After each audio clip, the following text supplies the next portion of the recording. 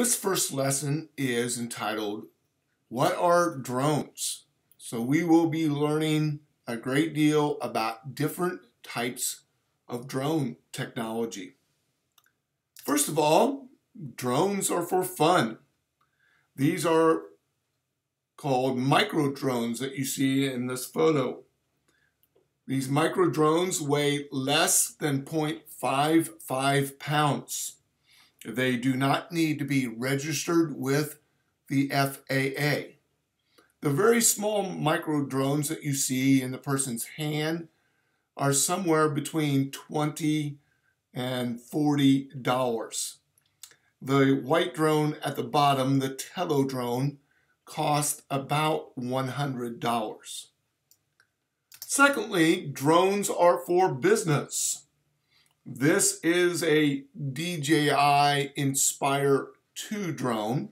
It's a very, very large drone that weighs around seven pounds. It must be registered with the FAA.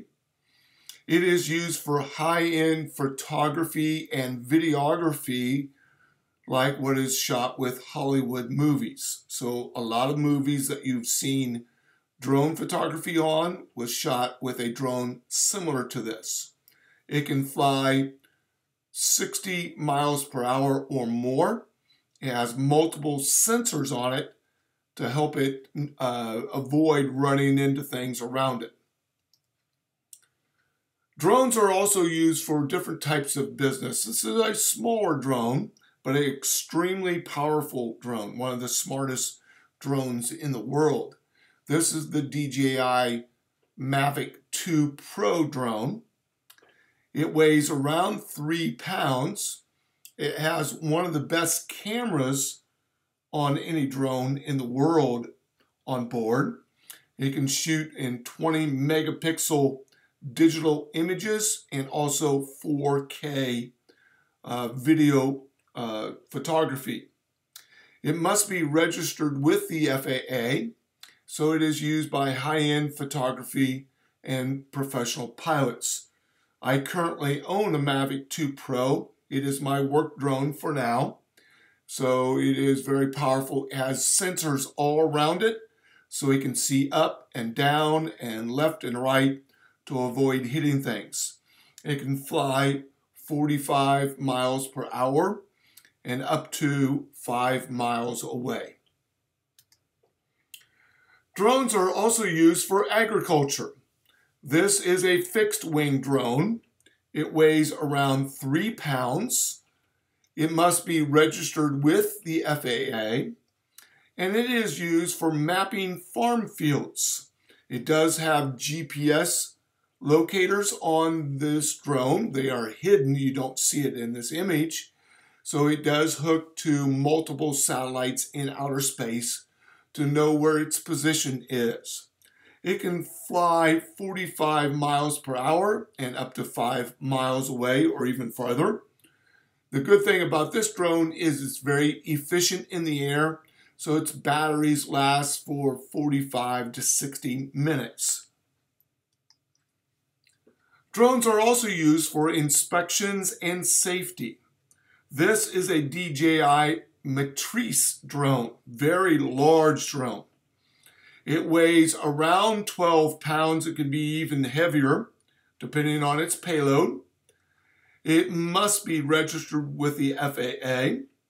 It is often used for inspections of buildings and bridges. As you can see, it has multiple cameras on it. So there's a camera on the top that allows it to fly under a bridge and look up and inspect the bridge for cracks and defaults. On the, the camera on the bottom, you can see is an infrared camera that is used to inspect power lines and also helps firefighters with fires and inspecting fires in a building. This drone can cost $10,000 or more. Uh, it does have several other cameras on it. It has very precise satellite uh, connection that can get it down to less than one millimeter in precision of knowing where it's at on planet Earth. So it's a very, very precise drone used by inspectors and safety experts. Drones are also used for the battlefield. If we would have talked about drones 20 years ago, and I said the word drone, most people would think of this image of a military drone. This very large aircraft is the size of a small jet. It is only flown by the United States military. It is often used for reconnaissance or delivery of weapon fire, so there can be weapons mounted on this drone. It can see in the dark with infrared cameras. You can see a camera bay up in the nose cone of this drone. Remember, there is no one on board this drone. Okay, even though it's large enough that you could have a pilot on board, there is no one on board. This drone is flown hundreds, if not thousands, of miles around planet Earth from a remote location. And of course, it's hooked to satellites, so it knows where it's at in on planet Earth. And there is a remote pilot flying this drone from a military base. And this drone could go across the Atlantic Ocean. Uh, could uh, take pictures of where it needs to take pictures of, and then come back and land here in the United States. The next type of drone is drones that are used for racing. This is a professional racing drone. It is only used by race pilots.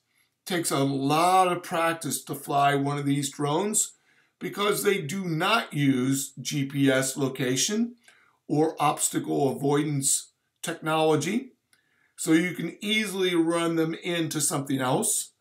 They do not uh, have a building system for uh, stabilization by themselves. You are flying this drone every single second. On some of the other drones, you can let go of the controls and the quadcopter drone will just hover in place until you take control of it again. Not this drone. This drone you're flying every single second. It is used for competitions all around the world. These drones fly very fast, up to 100 miles per hour.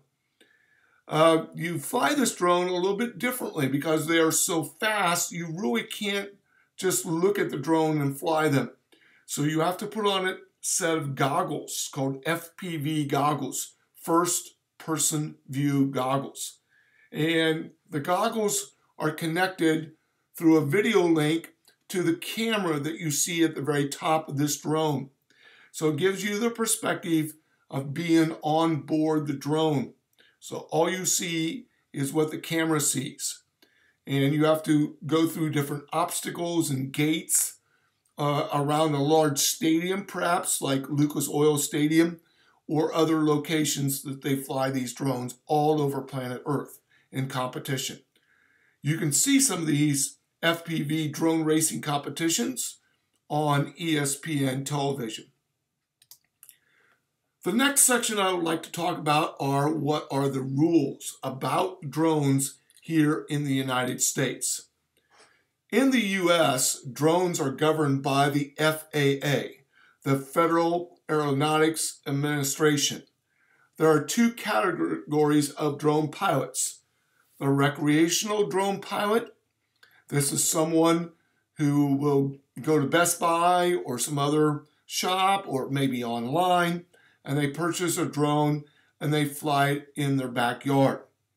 These drone pilots, uh, recreational pilots, are very restricted on where they are allowed to fly their drone. Certain places you are not allowed to fly them.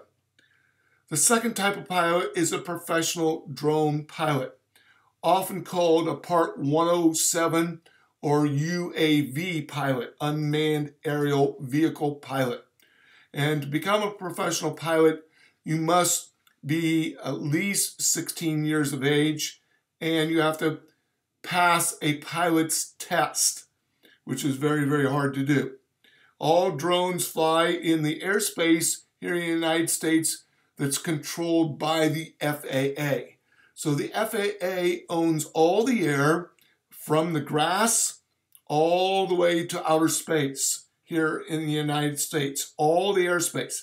So if someone says, you know, you can't fly over my house, legally a drone pilot can do that as long as you are not invading someone's privacy and causing a problem, you can do that just like a helicopter, a small airplane, or a jet can fly over someone's property. The recreational drone pilot is limited, as I mentioned, where they can fly. The professional drone pilot has more privileges in where they're allowed to fly. All drones share airspace with manned aircraft. So we have to be very careful and we have to yield to any manned aircraft, like a helicopter, like a, a, a, uh, a winged aircraft, both a jet or propeller driven aircraft. All drones must stay out of their way. The next section is going to talk about how drones are controlled. Most drones are controlled by a radio transmitter. You see several types of these on this slide. Depending on the cost and the abilities of the drone, the transmitter may be very complicated.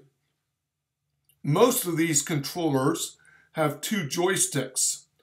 The left stick controls up and down, uh, controls the throttle, the speed of the drone's propellers so it makes it go up or come back down, and the heading of the drone, whether you're turning it to the left or you're turning it to the right.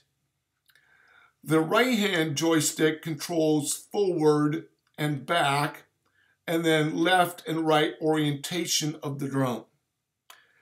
To control a drone and avoid crashes, it's very important to move these joysticks very smoothly most drone pilots that have crashes get into very jerky, quick reactions. You don't want to do that. You want to have a very smooth transition with these joysticks. They're very touchy and can move the drone very quickly if you have to. So you need to know the limits of the drone and, of course, practice a lot. There are several computerized flight simulators where you can learn to fly a drone prior to actually flying one. This gives you a lot of practice, especially with the race drones, because the race drones are so hard to fly, you will crash them a lot and they are expensive. So most race drone pilots practice using a simulator on a computer. Well, I hope you've learned a little bit about the world of aviation and especially the world of drones. Throughout this unit, we will be learning a little bit about each type of these drones and can show you how these drones fly.